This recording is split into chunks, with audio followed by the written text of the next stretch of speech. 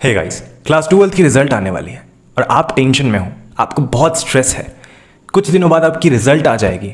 आप बहुत डरे हुए हो क्या आपकी मार्क्स अच्छी आएगी या बुरी आएगी। क्या आपने जितना सोचा है आपकी उतनी स्कोर आएगी या नहीं। अगर कम आई तो आप फैमिली मेंबर्स को क्या बोलोगे? फ्रेंड्स को क्या बोलोगे? रिलेटिव्स के तानों का क्या? अगर वो सुनाएँगे तो ड्रीम कॉलेज नहीं मिलेगा तो क्या होगा? ज़िंदगी बर्बाद हो जाएगी डीयू नहीं मिलेगा। या फिर कोई और बड़ा यूनिवर्सिटी नहीं मिलेगा। इस कॉलेज में नहीं एडमिशन होगा तो कहाँ जाऊँगा? प्राइवेट कॉलेज में कैसे जाऊँगा? बहुत फ़ीस देना पड़ेगा। क्या होगा? नहीं होगा? मेरी ज़िंदगी ख़त्म हो जाएगी। अगर आप ऐसा सोचते हो तो ये पूरा वीडियो आपके लिए है। मैं बस आपसे पाँच से छः मिनट का वक्त चाहता हूँ। आप इस वीडियो को एंड तक देखो। मैं आपको एक ऐसी गोल्ड एंड ब्रो टिप बताने वाला हूँ, क्योंकि मैं आप ही के एज का हूँ। तो मैं आपको एक ऐसी बात बताने वाला हूँ, जो शायद आपको ये बात तीन साल बाद पता चले और आप अपने ज़िंदगी में रिग्रेट करो। मैं आपसे अपनी लाइफ की स्टोरी शेयर करने जा रहा हूँ। ओके मेरा नाम मृणमा कर्माकर है और मैं अभी एक कंटेंट क्रिएटर हूँ फुल टाइम कंटेंट क्रिएटर और मैं अभी अपने नज़र में बहुत अच्छा कर रहा हूँ। बट मैं आपको लेके चलता हूँ आज से कुछ साल पहले, जो जब मैं अपने क्लास ट्वेल्थ में था और मेरी क्लास ट्वेल्थ की बोर्ड्स की स्कोर आने वाली थी। मैं आज से कुछ साल पहले, मुझे आज भी याद है, जब मैं पुणे में था ओके हमने बोर्ड्स की एग्ज़ाम दे दी थी मेरी बोर्ड्स की एग्ज़ाम खत्म हो गई थी। और मैं गारंटीड था मतलब मेरी इतनी ज़्यादा कॉन्फिडेंस थी कि मैं मिनिमम मिनिमम मैं 97, 98, 99 परसेंट तो स्कोर करूँगा। ओके ये मेरी एक्सपेक्टेशंस थी। ओके मैं पुणे में था अपने दो दोस्तों के साथ। हम लोग पुणे गए थे। हम लोग ऑटो में थे। अचानक से कॉल आता है भैया का। और भैया बोलते हैं कि तुम्हारा ट्वेल्थ का रिज़ल्ट आ चुका है और तुम्हें स्कोर आया है ये। और उस स्कोर को सुनकर मेरी फट गई। मतलब मैंने उस स्कोर को सुनने के बाद, जितना मेरा मार्क्स आया, वो मार्क्स को जानने के बाद मैंने अपने बगल वाले मेरे फ्रेंड को हक करा और मैं रोने लगा। और मैं क्यों रोने लगा? क्योंकि वो मार्क्स अनएक्सपेक्टेड थे। जितना मैंने सोचा था, उतना मुझे नहीं आया था। और वो मेरे लाइफ का बहुत डिप्रेसिंग फ़ेज़ था। मुझे आज भी याद है वो दिन जब मैं ऑटो में था और मेरे पैर हाथ काँप रहे थे। और मेरे दिमाग में भी यही ख्याल आ रहे थे, अब जब मैं वापस घर जाऊँगा तो क्या जवाब दूँगा? घर वालों को क्या बोलूँगा?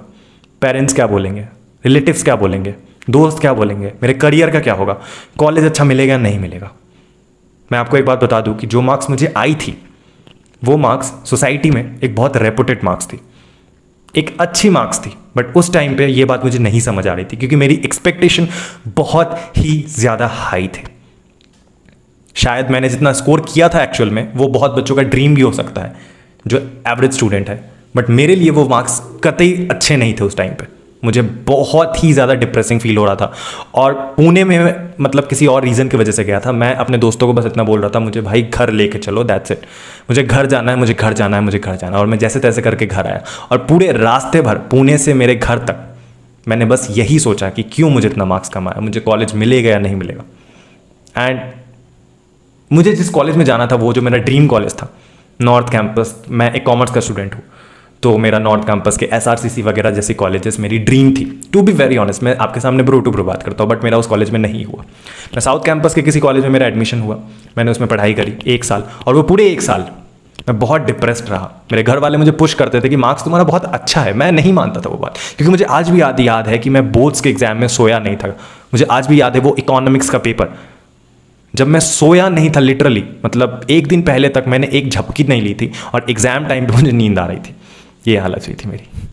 कोई बात नहीं, मैंने बहुत जीत और मेहनत करी थी। मैं टू बी वेरी ऑनेस्ट मैं एक एवव एवरेज स्टूडेंट था अपने स्कूल लाइफ में बट मैंने अपनी ट्वेल्थ में जितनी मेहनत करी थी, मैंने ज़िंदगी में पढ़ाई में उतनी मेहनत कभी नहीं करी थी। मैंने ट्वेल्थ में पूरी जान लगा दी थी और स्कोर उतनी नहीं आई थी। एक्सपेक्टेशन बहुत हाई थे। डिप्रेसिंग सा माहौल गया। काफ़ी ही बहुत ज़्यादा एनजाइटी भी होते थे समटाइम्स माइंड डिस्ट्रैक्ट करने की कोशिश करता था। बट अब आती है मेन बात। आज के टाइम से अगर मैं उस टाइम को कंपेयर करूँ मतलब अभी 2021 से तो मैं बस एक लाइन बोलूँगा। थैंक गॉड अच्छा हुआ कि मुझे वो स्कोर नहीं आया। मैं बच गया। मैं बच गया उस भीड़ में जाने से, जिस भीड़ में लाखों लोग घुसे पड़े हैं, जो सिर्फ़ कॉलेज जाते हैं कॉलेज के साथ बाद अपने दोस्तों के साथ घूमते हैं, अपने घर आते हैं सोशल मीडिया चलाते हैं इंस्टाग्राम स्क्रॉल करते हैं दिन भर दैट्स इट नथिंग क्योंकि उसके बाद वो मार्क्स जब मुझे कम आया तो उसके बाद मैंने अपनी पैशन को ढूंढना स्टार्ट किया। वो बोलते हैं ना कि जब मार्क्स कम आती है ना, तभी जब आपकी पूरी सारी रास्ते बंद हो चुके थे क्योंकि मेरे नज़र में सारे रास्ते बंद हो गए थे, तब मैंने अपनी पैशन को ढूंढना स्टार्ट किया। मैंने सोचा कि चलो कॉलेज तो अच्छा मिला नहीं। क्योंकि वो कॉलेज जिस कॉलेज में मैं साउथ कैंपस में पढ़ रहा था, वो एक्चुअल में अच्छी कॉलेज है साउथ कैंपस की, बहुत ज़्यादा। वो one of the top college है बट मेरे मेरे को ये समझ नहीं थी। उसके बाद कुछ टाइम बाद मैंने उस कॉलेज से ड्रॉप आउट ले लिया और लकीली नेक्स्ट ईयर मैंने नॉर्थ कैंपस में एडमिशन ले लिया जर्मन ऑनर्स में, क्योंकि मेरी कट ऑफ़ उस कॉलेज में मैच कर रही थी। तो मेरी हो गई, क्योंकि उस साल की कट ऑफ़ थोड़ी कम गई थी तो मेरी हो गई उधर नॉर्थ कैंपस में। बट मैं आपको एक बात बताता हूँ, आज के टाइम पे अगर शायद मैं उस कॉलेज में गया होता तो आपके सामने ना बैठा होता, आपके सामने ब्रो टू ब्रो ना बात कर रहा होता। आप मुझे इतना प्यार नहीं कर रहे होते। जब मैंने अपने पैशन पे ध्यान दिया, जब मैंने सोचा कि मेरे सारे रास्ते बंद हो गए, पढ़ाई से तो मेरा भरोसा उठ गया, उसके बाद मैंने सोचा, ना लाइफ में कभी पढ़ाई नहीं करूँगा, अगर पढ़ाई करके, इतना पढ़ाई करके ये हालत होता है तो मैं अपनी जो मेरी बचपन की पैशन थी कैमरा मैंने थिएटर प्लेस करना स्टार्ट किया। कैमरा मुझे बचपन से बहुत पसंद था, इसलिए मैं आज कैमरा के सामने इतना कंफर्टेबल होकर बात करता हूँ और मैं आपको एक श्योर शॉर्ट बताता हूँ कि बहुत सारे लोग हैं कैमरा के सामने हेजिटेट करते हैं। मैं कभी नहीं करता हूँ हेजिटेट आप मेरी पहली वीडियो भी जाकर देखो, मैं कभी हेजिटेट नहीं किया कैमरा के सामने। हाँ वीडियो मेकिंग बहुत अच्छी नहीं हो सकती है बट मेरे अंदर हेजिटेशन नहीं थी कैमरा के सामने। उसको मैंने ग्रो किया अच्छा किया। थिएटर प्ले किए बहुत सारी चीज़ें करी। और आज मैं इस मुकाम में हूँ कि मेरे कॉलेज के जो लोग, जितने स्टूडेंट्स हैं, जिस कंपनी में इंटर्नशिप्स करते हैं, वो कंपनी मेरे पास आती है प्रमोशन के लिए। आप सोचो, ये डिफरेंस है। मैंने यूट्यूब से प्यार कमाया, इज़्ज़त कमाया और मैंने मतलब सोच लिया था ना कि अब इतना डिप्रेसिंग सा सीन है मेरे लाइफ में, इतना कुछ हो चुका है तो मुझे कुछ और ही करना है तो मैंने उस पर ध्यान दिया। और आज मैं आपको बताता हूँ, आज मेरी channel to be very honest मैं यूट्यूब एनालिटिक्स देखता हूँ, जितनी जैसी मेरी कंटेंट है, जिस जोन में करियर गाइडेंस को लेकर मोटिवेशनल को लेकर, मैं इस जोन में, मुझे ऐसा लगता है यूट्यूब गाइडलाइंस को देखते हुए एनालिटिक्स को देखते हुए, मैं कहीं ना कहीं one of the fastest growing YouTuber हूँ, और मैं बन सकता हूँ फ्यूचर में। मुझे अपने ऊपर पूरा कॉन्फिडेंस है। इस चीज़ को लेकर तो है। और मैं कभी नहीं रुकूँगा अपने लाइफ में। आज मेरे ऊपर लोग पोर्ट्रेट्स बनाते हैं, मेरे ऊपर स्केच बनाते हैं, मेरे से मिलने के लिए लोग पागल हैं। और मैं भी उन लोगों से मिलने के लिए बहुत एक्साइटेड हूँ। मतलब मेरे फैंस क्रिएट होना स्टार्ट हो गए वो जो चीज़, जो वो ड्रीम सोचता था मैं कि फैंस होंगे, हाथ हिलाऊँगा तो बहुत सारे लोग पागल हो जाएँगे। और जब लाइव आऊँगा तो अच्छी अच्छी चीज़ें वगैरह अच्छे अच्छे कमेंट्स प्यारे ऐसी ऐसी चीज़ें कि sir I am your big fan मतलब कौन बोलेगा मेरे तरीके कंटेंट क्रिएटर को बिग फ़ैन ज़्यादातर लोग सिर्फ़ कॉलेज की क्वेरी करने आते हैं, लेकिन मुझे लव यू वाले कमेंट आते हैं। मुझे बोलते वो लोग मुझे कितना प्यार करते हैं। दे वॉन्ट टू हग मी तो कहीं ना कहीं मेरी जो किस्मत थी, वो मेरी इसलिए चमकी क्योंकि मैंने अपनी पैशन पे ध्यान दिया। तो आप लोग के लिए बस इतना बोलूँगा कि आपकी रिज़ल्ट आने वाली है और रिज़ल्ट को लेके प्लीज़ अगर आपको अच्छा कॉलेज मिलता है तो इट्स वेल एंड गुड बहुत अच्छी बात है बट अगर बहुत अच्छा कॉलेज नहीं मिलता है, अगर आपकी मार्क्स थोड़ी कम आती है तो अपनी पैशन पे ध्यान दो. लास्ट ऑप्शन ये नहीं है कि आपकी कॉलेज आपकी कॉलेज 2021 के ज़माने में 2022 के ज़माने में आपको बस एक ज़रिया दे सकती है बट कॉलेज आपकी ज़िंदगी में कुछ नहीं उखाड़ सकती है, मेरी बात मानो.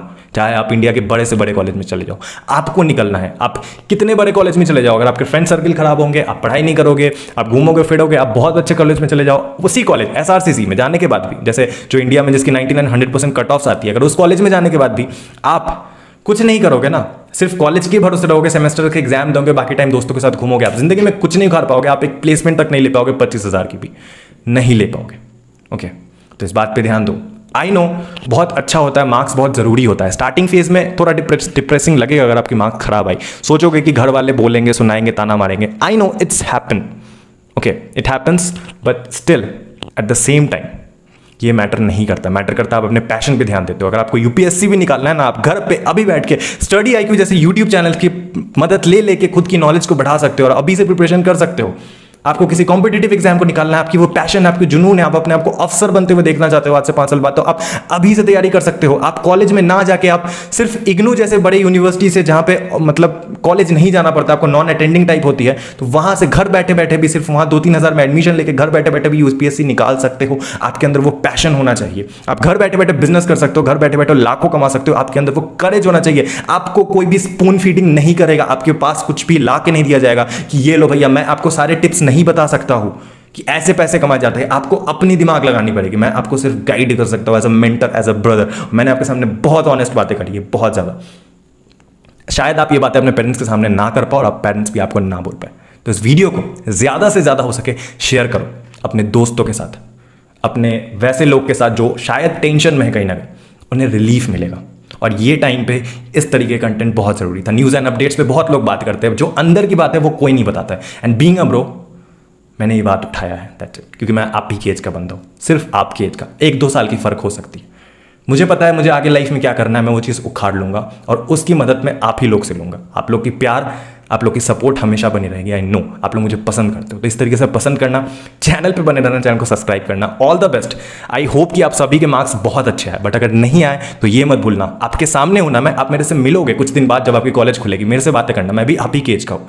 तो मैंने भी ऐसे ही ग्रो किया है। तो आप भी कर सकते हो। मैंने भी घर बैठे बैठे दिमाग लगा के मेहनत करके, कैमरा के सामने बोल बोल के मेहनत करके निकाला है। तो आप भी कुछ ना कुछ करके उखाड़ सकते हो, लाइफ में बड़ा से बड़ा चीज़। Okay? Thank you for watching this video I love you guys bye